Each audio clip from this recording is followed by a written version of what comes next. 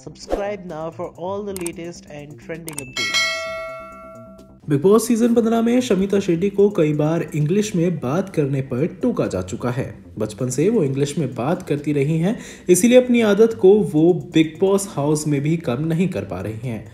अब हाल ही में वीकेंड कबार में सलमान खान ने भी शमिता शेट्टी को शो में इंग्लिश में बात करने पर टोका था। वहीं अब बिग बॉस सीज़न 13 की कंटेस्टेंट रहे पारस छाबड़ा ने शमिता शेट्टी पर वार किया है।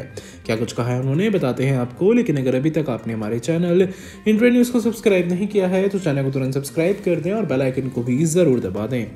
पारस छाबड़ा ने ट्वीट में तंज कसते हुए लिखा शमिता शेट्टी बिग बॉस में नहीं, शायद बिग ब्रदर में गई हैं। ऐसा ही लग रहा है। काफ़ी ज़्यादा इंग्लिश में बातें करती हैं पारस के इस कमेंट पर यूज़र्स के मिक्स्ड रिएक्शन आ रहे हैं।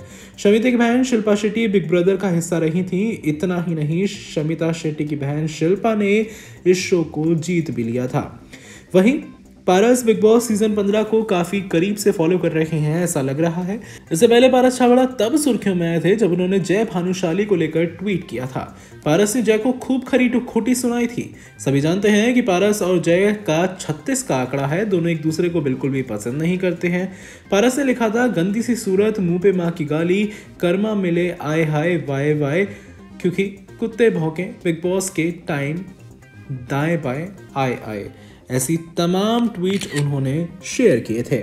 आप क्या कहना चाहेंगे इन सब पर? हमें नीचे कमेंट सेक्शन के ज़रिए अपनी राय ज़रूर बताएँ और ऐसी तमाम अपडेट्स के लिए जुड़िए हमारे चैनल इंडिया न्यूज़ के साथ। चैनल को तुरंत सब्सक्राइब कर दें बेल आइकन को भी ज़रूर दबा दें ताकि आप कोई भी अपडेट मिस ना कर सकें।